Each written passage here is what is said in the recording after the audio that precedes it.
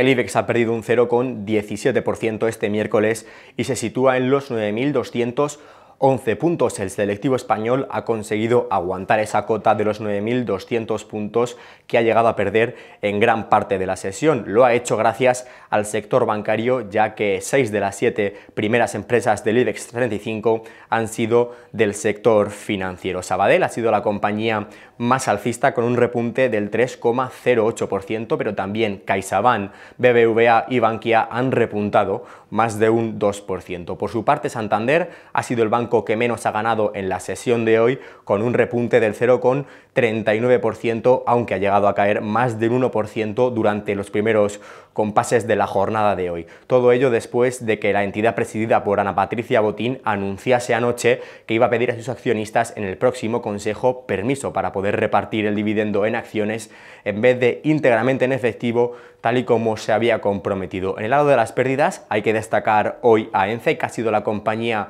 más castigada con una caída del 2,65% después de presentar al cierre de ayer sus resultados correspondientes al ejercicio 2018, en los que incrementó su beneficio neto atribuible en un 41%. En el ámbito geopolítico, hoy todas las miradas están puestas en Vietnam, donde se reúne el presidente estadounidense Donald Trump y el líder norcoreano Kim Jong-un para intentar la desnuclearización de la península de Corea. Ya en otros mercados, el barril de crudo Brent cotiza con un alza del 2% por de los 66 dólares por barril, mientras que en el mercado de divisas el euro mantiene el cambio en un dólar con 13 centavos. Pueden seguir informados en bolsamanía.com.